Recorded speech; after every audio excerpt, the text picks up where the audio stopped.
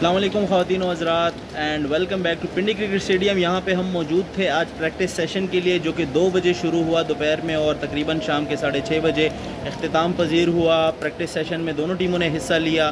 कल पहला O D I Pindi cricket stadium में खेला जाना है और उससे कबल आज भरपूर प्रैक्टिस सेशन हुआ, लेकिन प्रैक्टिस सेशन ख़त्म होने के बाद ही दस्ती यहाँ पर एक ज़ोरदार किस्म का शावर देखने को मिल रहा है, जो कि आप देख सकते हैं। बारिश अभी भी हो रही है यहाँ पे।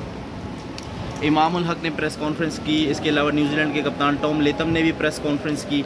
उनसे हमने सवाल भी किए। इमाम का ये कहना था कि वो वर्ल्ड कप में अपनी परफॉर्मेंस को मज़ीद ऊपर ले जाने की कोशिश करेंगे। अगर वो ख़ुद number three O D I rank player हैं, लेकिन अगर पाकिस्तान की टीम पाँचवें नंबर पे है तो इसका उनको जो है वो बिल्कुल भी उसको खुशी नहीं है।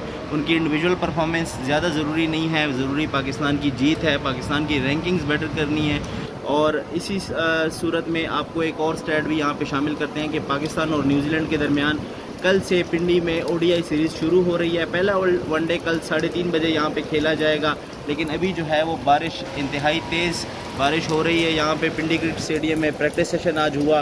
पाकिस्तान को ये सीरीज़ फोर वन से जीतनी पड़ेगी। अगर उन्होंने नंबर वन ओ टीम बनना है और न्यूजीलैंड, ऑस्ट्रेलिया और इंडिया के पास भी एक एक मैच का क्वेश्चन है, वो भी एक मैच जीतने के बाद नंबर वन ओ टीम बन सकते हैं। करंटली जो ऑस्ट्रेलिया की टीम है, वो नंबर वन पे है इस वक्त ओ रैंकिंग्स के अंदर।